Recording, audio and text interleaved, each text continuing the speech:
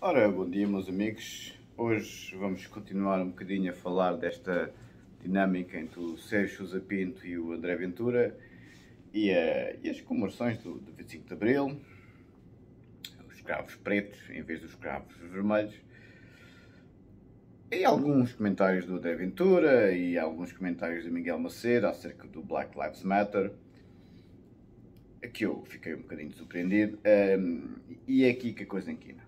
Eu tenho, tenho falado muito acerca da, desta dinâmica, eu sou imigrante, como sabem, e, e sei muito bem o que é o racismo e a xenofobia, porque experiencio na pele o racismo e a xenofobia, sendo caucasiano, sendo europeu ocidental, coisa que nunca tinha sentido na vida.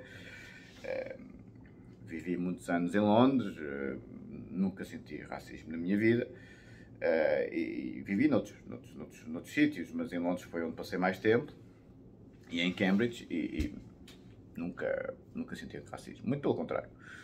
Uh, estavam-me sempre, a, como sou académico, estavam-me sempre a colocar dos píncaros, como se costuma dizer. Uh, quando saí da Europa, pois é, aí a coisa inquinou por completo. a coisa inquinou por completo, porque realmente o racismo existe e é avassalador, e a xenofobia. Um, por isso, esta coisa do Black Lives Matter uh, e da democracia dos cravos pretos, o que é paradoxal? O André Ventura a dizer que, que a democracia está de luto porque um, deviam ser cravos pretos, mas depois uh, fala de que o governo está muito preocupado, ou que as pessoas estão muito preocupadas e o governo está muito preocupado também com o que acontece lá fora e, hum, neste caso, o que aconteceu com o George Floyd que o polícia em questão uh, foi condenado por homicídio, é? ou seja, e é só não conhecer os Estados Unidos uh, para pensar que a polícia age de forma igual com a população afrodescendente. Uh, é, é, é, não conhecer os Estados Unidos, quer dizer, é, é uma demagogia tremenda, não é?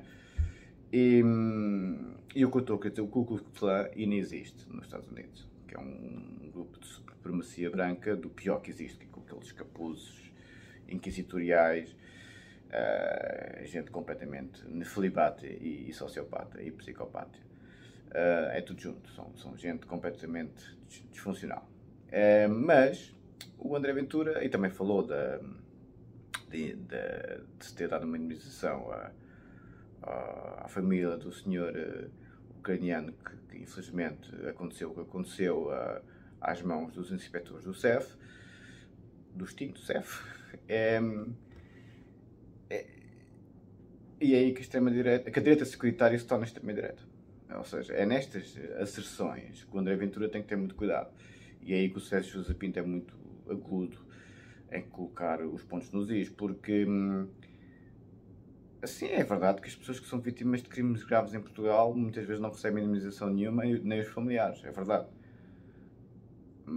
mas atendendo ao que aconteceu uh, ao senhor ucraniano, obviamente que tinha que haver uma ação célere e, e bastante efetiva do Estado, porque senão, obviamente, uh, as coisas teriam proporções extremamente negativas, Portugal seria percepcionado como uma ditadura uh, estilo China, que, que as pessoas que são detidas ou presas são tratadas absolutamente de forma como se estivessem em Guantánamo, com o devido paradoxo. Em Guantánamo, coisa que é um dos principais problemas dos Estados Unidos, as pessoas são detidas ad infinitum, um, sem qualquer dedução de acusação. O processo penal lá do sítio não é o processo penal do, do, direito uh, do sistema romano-germânico como é o nosso, em, em, Portugal, por exemplo, eles têm o common law, né, têm o direito consuetudinário, e, e realmente eu, eu, eu, eu, eu gosto do, do George W. Bush e do. Isto desviando um bocadinho do assunto, mas eu gosto do George W. Bush e do Donald Rumsfeld, que era o secretário da Defesa norte-americano na altura do, do 11 de setembro. Fizeram um excelente trabalho em, em tentar apanhar o Bin Laden e apanharam, uh, apesar de ter sido só na administração Obama, e mataram-no. Pois com certeza é assim que acontece com, com inimigos numa guerra. É, é uma guerra ao terror, mas era uma guerra. E na, nas guerras, obviamente, mata-se o inimigo. Ponto final, parágrafo. Agora, de ter pessoas em Guantánamo, que é em Cuba, como sabem, é, logo não é, não é abrangido pelo ordenamento jurídico norte-americano, é um limbo jurídico. É, o Tribunal Penal Internacional não é reconhecido pelos Estados Unidos, por exemplo, nem pela Rússia, nem pela China, pelas grandes potências em geral, logo por, logo por aí a coisa também se torna muito complicada em termos de direito internacional para, para se efetivar.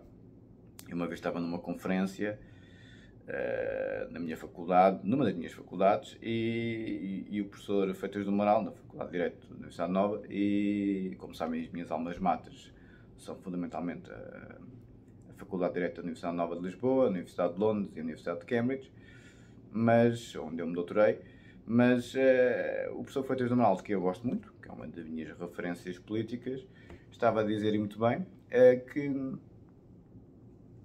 quando ele foi presidente da Assembleia Geral das Nações Unidas, uma vez estava lá numa reunião com a Madeleine Albright, que era a secretária de Estado uh, norte-americana do, do presidente Clinton, em que ela disse, sem problemas nenhum, que o direito internacional não existe, o, o direito internacional é a lei das grandes potências, é a força das grandes potências. É verdade.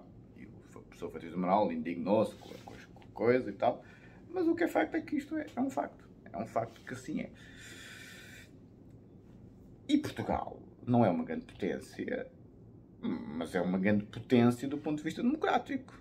Ok, nós temos uma, uma democracia fortemente consolidada e fortemente estruturada por isso, tenho algumas dificuldades em considerar que eh, os cabos pretos sejam adequados, como o André Ventura diz, a democracia não está de luto coisa nenhuma.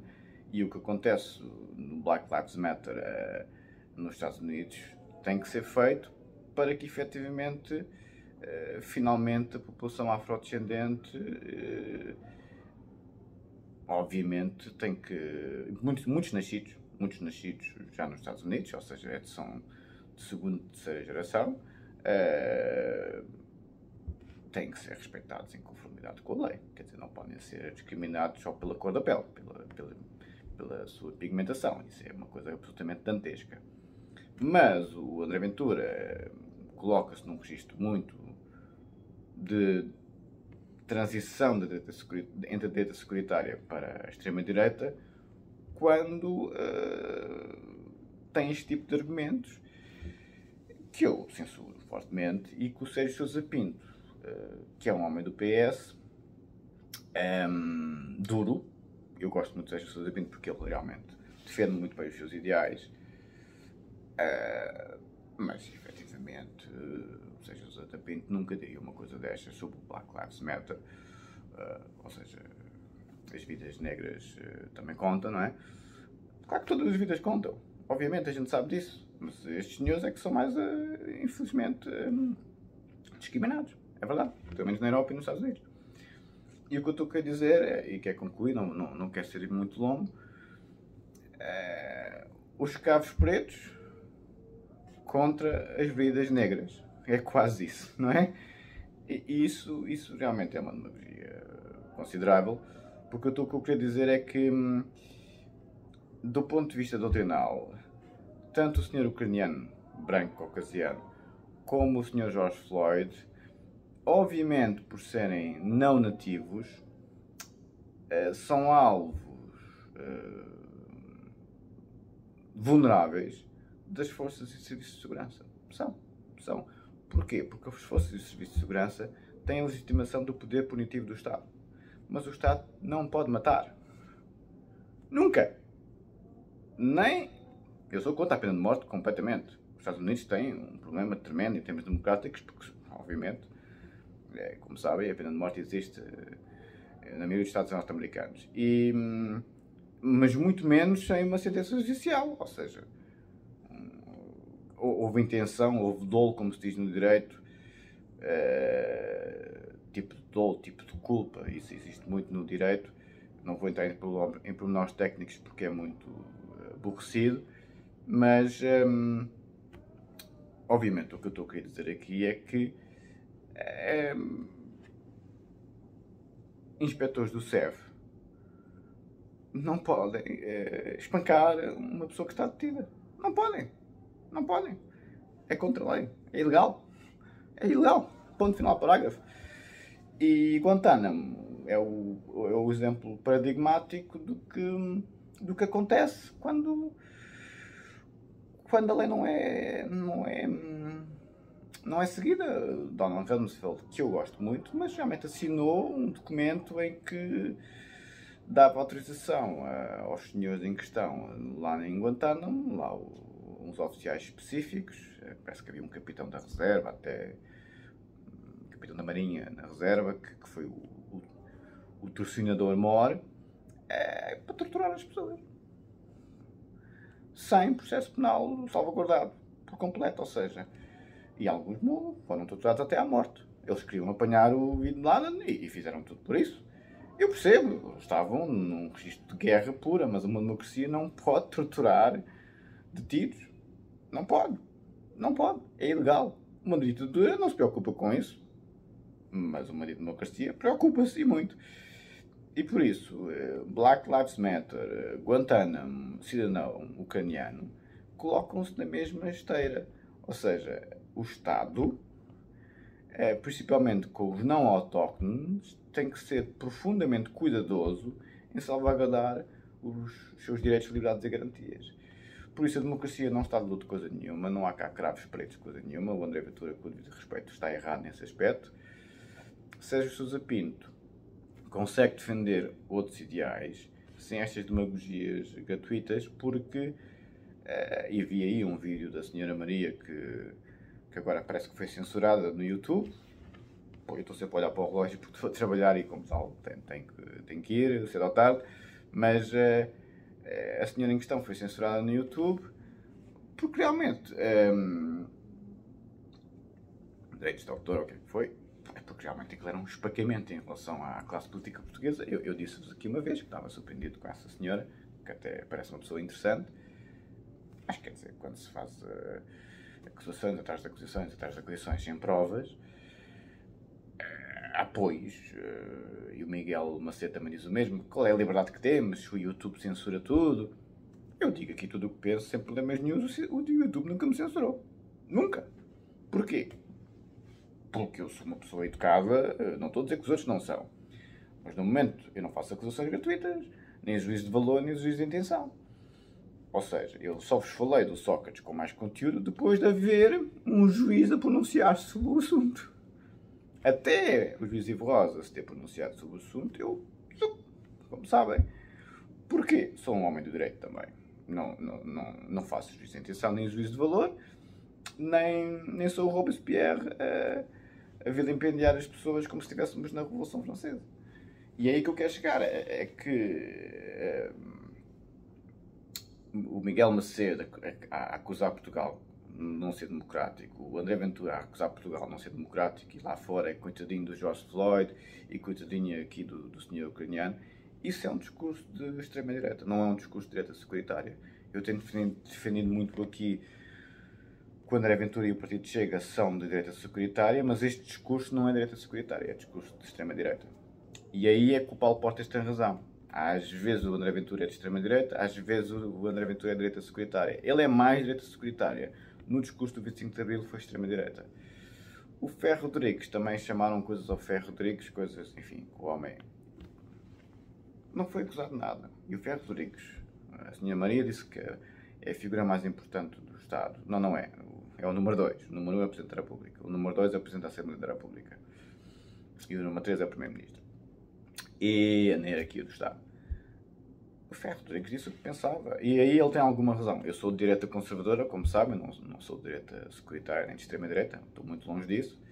Uh, os meus ideais, como sabem, são as minhas referências políticas são o professor Freitas do Moral, o professor Cavaco Silva e o, e o Jornal Ramalhianes, um, ehm, mas um, ehm, estou muito próximo do PST e do CDS, não, não, não do, do Chega, nem pensar nisso. Mas, mas tudo o fenómeno, como sabem, sou académico, gosto, gosto de estudar o fenómeno político. Um, ehm, e, e, faço, do ponto de vista profissional, também um bocadinho. Não na totalidade, infelizmente, como eu gostaria. Mas, para concluir, uh, Ferro Rodrigues disse uma coisa acertada. Não é por ser magistrado ou por ser política, a pessoa é logo à partida culpada. É verdade. Claro que ele estava a querer, de certa forma, brincar um bocadinho uh, o que se passou. E, mas uh, estes discursos muito musculados uh, contra as figuras do Estado eu, eu gosto do Ferro Rodrigues. Não gostei muito da forma como ele falou com o André Ventura uma vez, para dizer o mínimo. Ele é um bocado truculento, a gente sabe. Mas é um homem da democracia, quer dizer, o Ferro Rodrigues não, não, é, um, não é uma pessoa que, que, que, que, me parece ser ao nível de outros afins, eh, como o engenheiro Sócrates. Não, não, não me parece nem de perto nem de longe. Uh, tem as suas opiniões e é um homem do sistema e às vezes diz coisas um bocado, enfim, caricatas com, em relação ao segredo de justiça, por exemplo. Mas, mas, é, mas é um homem, parece-me sério, vou ser sincero.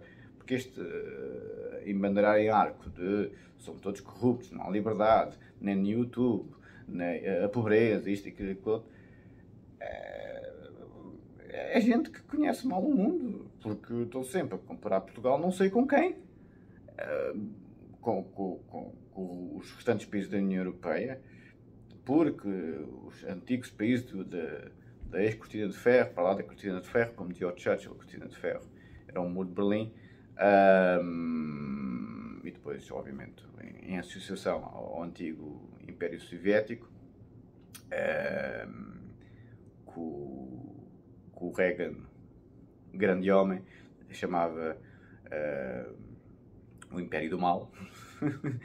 E, ehm, vão comparar uh, índices macroeconómicos de Portugal com, com, alguns desses países. É comparar o índice macroeconómico de Portugal com a China. Sim, a China cresce de forma espetacular. Mas porquê? Porque as pessoas são exploradas e trabalham como nem uns escravos. Uh, nos países ricos, onde eu também vivo, sim, ganha-se dinheiro, mas uh, mas não têm vida. Trabalham que nem uns cães. Mesmo nos Estados Unidos. Trabalham que nem uns cães. Cuidado, como se diz em inglês. Careful what you wish for. Meaning, uh, em português, cuidado com, com, com o wishful thinking. Cuidado com, o que desejam nesse aspecto. A, tradução é idiomática, não, não, não há uma tradução literal. Ou seja, pescadinho do rabo da boca, como se diz em português. Um, não vejo com bons olhos uh, esta idealização de índices macroeconómicos espetaculares quando para se chegar a esses índices macroeconómicos as pessoas trabalham que nem uns cães e não têm cuidado de vida absolutamente nenhuma. As comparações que fazem, não há liberdade em Portugal, isto, aquilo aquilo outro, não, Portugal tem liberdade e as pessoas não trabalham que nem os cães. Há muita pobreza, é verdade. Temos que fazer eh, muito caminho. Como diz o poeta, o caminho faz caminhando, não é? Mas hum, temos que caminhar muito nesse sentido. Mas não é a classe política. É o tecido económico, é o tecido empresarial. A carga fiscal tem que ser alterada, também concordo. A iniciativa liberal tem boas ideias nesse aspecto. Um, mas o Coutinho de Figueiredo, o homem da London School of Economics, obviamente, sabe bem o que diz.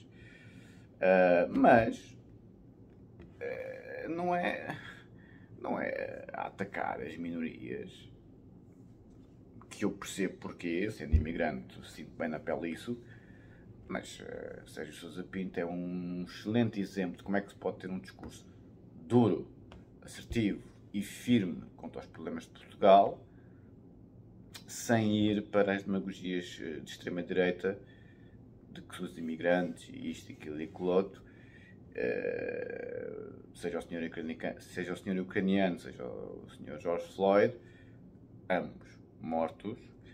Uh, Miguel Moura ataca muito isso. Miguel Macedo, peço desculpa. Que eu, eu fiquei. Eu, eu, Miguel Macedo é uma pessoa que sabe pensar, mas eu fiquei um bocadinho surpreendido. Mas essas pessoas fazem entrevistas ao líder do antigo PNR hoje em dia era é, quer dizer, há aqui um, uma, uns vasos comunicantes extremamente consideráveis entre o Chega e, e o PNR, antigo PNR, hoje ERGT, ou seja, entre a direita securitária e a extrema-direita. eu estou farto de dizer a mesma coisa. Se o André Ventura se deixa inclinar o pêndulo de Foucault, não é? Se, se André Ventura se deixa seduzir pelas ideias da extrema-direita, não chega a lado nenhum. Se o André Ventura se, se, se, se modera de forma substantiva e deixa as bandeiras da extrema-direita, aí chega a algum lado. Um, por isso, a democracia está de parabéns. Não há cá cravos pretos, coisa nenhuma. São cravos vermelhos hoje e sempre. Ok? Não desgosto do André Ventura, como vocês sabem. Mas o discurso do 25 de Abril foi. É, foi para incentivar as hostes. Não foi um discurso democrático. Ok? Sérgio Sousa Pinto claramente tem um discurso democrático sem entrar nestas armadilhas conceptuais de demagogia gratuita. Apesar de eu perceber porque é que ele disse o que disse. Miguel Macedo a mesma coisa, Gonçalo Sousa a mesma coisa, João Tili a mesma coisa. É, são todos do Partido Chega. Como tal, não, não, não me surpreende. É a doutrina deles, mas não faz disso verdade absoluta. Vamos falando. Obrigado.